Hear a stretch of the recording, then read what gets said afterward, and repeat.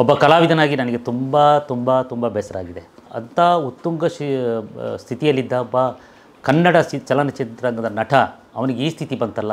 ಒಳ್ಳೆ ವಿನೀತವಾಗಿದ್ದ ಹುಡುಗ, ದರ್ಶನ್ ಮತ್ತು ದಿನಕರ್ ಅಂತೇಳಿ ಇಬ್ಬರೂ ಕೂಡ ಬಂದು ಆ ವರ್ಕ್ಶಾಪಲ್ಲಿ ಸೇರಿಕೊಂಡ್ರು. ಹಾಗೆ ಅವನಿಗೆ ನಾನು ಶೇಕ್ಸ್ಪಿಯರ್ನ ಒಂದು ರಾಬಿನ್ ಗುಡ್ ಫೆಲೋ ಅಂತೇಳಿ ನಾಟಕ ಮಾಡಿಸಿ, ಅದಕ್ಕೆ ರಾಜನ ಪಾತ್ರವನ್ನು, ಹೀರೋ ಪಾತ್ರವನ್ನು ಕೊಟ್ಟಿದ್ದೆ. ಆ ಹೀರೋ ಪಾತ್ರ ಅದ್ಭುತವಾಗಿ ಮಾಡಿದ್ದ. ನೋಡೋಕ್ಕೆ ಎಷ್ಟು ಚೆನ್ನಾಗಿದ್ದ?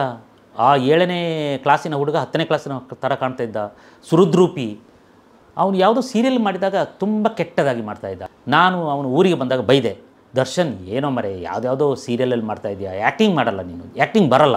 ಏನು ಮಾಡಬೇಕು ಗುರುವೇ? ಅಂತ ಕೇಳಿದಾಗ, ನೀನಾಸಮ್ಗೆ ಹೋಗೋ, ಅಲ್ಲಿ ಟ್ರೈನಿಂಗ್ ಮುಗಿಸ್ಕೊಂಡು ಬಾ. ಮೀಸೆ ಕೂಡ ಬಂದಿರಲಿಲ್ಲ. ಮೆಜೆಸ್ಟಿಕ್ ಫಿಲ್ಮಲ್ಲಿ ಹೀರೋ ಸೂಪರ್ ಹಿಟ್ ಆಗೋಗಿದೆ ಆ ಸಿನಿಮಾ. ಸಿನಿಮಾ ಸೂಪರ್ ಹಿಟ್ ಆದ ನಂತರ ನನ್ನ ಮನೆಗೆ ಬಂದು ನಮ್ಮ ಕಾಲು ಹಿಡಿದು ನಮಗೆ ಸ್ವೀಟ್ಸ್ ಎಲ್ಲ ಕೊಟ್ಟು ಹೋಗಿದ್ದಂಥ ವಿನೀತ, ವಿನಯಶೀಲ ದರ್ಶನ್.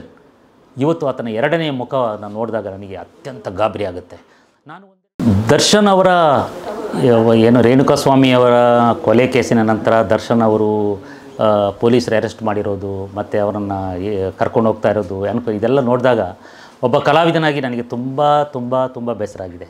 ಯಾಕೆಂದರೆ ಅಂಥ ಉತ್ತುಂಗ ಶಿ ಸ್ಥಿತಿಯಲ್ಲಿದ್ದ ಒಬ್ಬ ಕನ್ನಡ ಚಲನಚಿತ್ರಂಗದ ನಟ, ಅವನಿಗೆ ಈ ಸ್ಥಿತಿ ಬಂತಲ್ಲ. ಮತ್ತು ಅವನಿಗೆ ಮೊದಲು ಬಣ್ಣ ಹಚ್ಚಿ ಅವನ ರಂಗಕ್ಕೆ ತಂದ ನಮ್ಮಂಥವರಿಗೆ ಅವನು ಒಬ್ಬ, ನಮಗೆ ಒಬ್ಬ ಹಿತೈಷಿ ಮತ್ತು ಅಭಿಮಾನಿಯಾಗಿದ್ದ. ನಾನು ಅದನ್ನು ಹೇಗೆ ಅದನ್ನು ನೋಡಲಿ? ನನಗೆ ಅಂತೂ ತುಂಬ ನೋಡಲಿಕ್ಕೆ ಕಷ್ಟ ಆಗ್ತಾ ಇದೆ ಅಂತ. ಇತ್ತೀಚೆಗೆ ನನಗೆ ಅಂಥ ಒಡನಾಟ ಇರಲಿಲ್ಲ. ನಾನು ಯಾಕೆಂದರೆ ಅವರು ಭಾಳ ಬ್ಯುಸಿಯಾಗಿದ್ದರು ಅಂತ ಕನ ಯಾಕಂದರೆ ಅವ್ರು ಶೂಟಿಂಗ್ ಅದಿಲ್ಲ ಆದರೆ ಸಾವಿರದ ಒಂಬೈನೂರ ಎಂಬತ್ತೇಳರಲ್ಲಿ ನಾನು ಪೊನ್ನಂಪೇಟೆಯಲ್ಲಿ ನೀನಾಸಂ ಮುಗಿಸಿ ಬಂದು ನಾನು ಅನಿತಾ ಅಲ್ಲಿ ವರ್ಕ್ಶಾಪ್ ಮಾಡ್ತಿದ್ವಿ ಮಕ್ಕಳಿಗಾಗಿ ನಾಟಕ. ಆ, ಇವನ ತಾಯಿ ಮನೆ ಅಲ್ಲಿ, ಪೊನ್ನಂಪೇಟೆ, ನನ್ನ ಊರೇ. ಮೀನಾಕ್ಷಿ ನಾಯ್ಡು ಇವನ ತಾಯಿ. ತುಂಬ ಎತ್ತರದ ಹೆಂಗಸವಳು. ಅವಳ ದೇಹವೇ ಇವನಿಗೆ ಬಂದಿರೋದು ಆ್ಯಕ್ಚುಲಿ ಮಗನಿಗೆ. ಒಳ್ಳೆ ವಿನೀತವಾಗಿದ್ದ ಹುಡುಗ, ಇವನ್ ದಿನೇಶ್, ಅದು ದರ್ಶನ್ ಮತ್ತು ದಿನಕರ್ ಅಂತೇಳಿ. ಇಬ್ಬರೂ ಕೂಡ ಬಂದು ಆ ವರ್ಕ್ಶಾಪಲ್ಲಿ ಸೇರಿಕೊಂಡ್ರು. ಅವನು ಅಜ್ಜಿ ಮನೆಗೆ ಬರ್ತಾ ಇದ್ರಲ್ಲ, ಆಟ ಆಡಲಿಕ್ಕೆ, ಬೇಸಿಗೆ ರಜೆಯಲ್ಲಿ. ಹಾಗೆ ಅವನಿಗೆ ನಾನು ಶೇಕ್ಸ್ಪಿಯರ್ನ ಒಂದು ರಾಬಿನ್ ಗುಡ್ ಫೆಲೋ ಅಂತೇಳಿ ನಾಟಕ ಮಾಡಿಸಿ ಅದಕ್ಕೆ ರಾಜನ ಪಾತ್ರವನ್ನು, ಹೀರೋ ಪಾತ್ರವನ್ನು ಕೊಟ್ಟಿದ್ದೆ ಅವನಿಗೆ. ಆ ಹೀರೋ ಪಾತ್ರ ಅದ್ಭುತವಾಗಿ ಮಾಡಿದ್ದ. ಅವತ್ತು ಪ್ರದರ್ಶನದ ದಿನ ಅವನಿಗೆ ಮೇಕಪ್ ಮಾಡ್ತಾಯಿದ್ಳು ಅನಿತಾ, ನನ್ನ ಹೆಂಡತಿ. ಆಗ ಮೀನಾಕ್ಷಿ ನಾಯ್ಡು ಬಂದು, ಅಮ್ಮ, ಯಾವ ಕೈಯಲ್ಲಿ ಮೇಕಪ್ ಮಾಡ್ತಾ ಇದೆಯಾ ಅಂತ ಕೇಳಿದಳು. ಅಂದರೆ ತಾಯಿಗೆ ಮಗನ ಮೇಲಿರುವಂಥ ಒಂದು ಮಹತ್ವಾಕಾಂಕ್ಷೆ. ನನ್ನ ಮಗ ಈ ದೊಡ್ಡ ನಟನ ಆಗಬೇಕು ಅಂತ. ಆಗ ತಾನೇ ಮೀನಾಕ್ಷಿ ನಾಯ್ಡು ತನ್ನ ಗಂಡನಿಗೆ ಒಂದು ಕಿಡ್ನಿಯನ್ನು ಕೊಟ್ಟಿದ್ದಳು. ದ ತೂಗುದೀಪ ಶ್ರೀನಿವಾಸ ಅಂತೂ ಬದುಕಲಿಲ್ಲ, ಸತ್ತೋದ. ಬೇಕ್ರಿ ಇಟ್ಕೊಂಡಿದ್ದ. ಕಷ್ಟದ ದಿನಗಳು ಮೀನಾಕ್ಷಿ ನಾಯ್ಡುದು. ಭಾಳ ಒಳ್ಳೆಯ ಹೆಂಗಸು. ಮಗನ ಮೇಲೆ ತುಂಬ ಭರವಸೆ ಇತ್ತು ಅವಳಿಗೆ. ಆಗ ಹುಡುಗ ಚೆನ್ನಾಗಿ ನಟಿಸಿದ್ದ. ಅನಿತಾ ಹೇಳಿದ್ರು, ನಾನು ಒಳ್ಳೆ ಕೈಯಲ್ಲೇ ಮೇಕಪ್ ಮಾಡಿದ್ದೀನಿ. ನಿನ್ನ ಮಗ ದೊಡ್ಡ ಸಿಕ್, ಉತ್ತಮ ಕೇರ್ತಾನೆ ಅಂತ. ಅದು ಆಗೇ ಆಯ್ತು ಬಿಡಿ.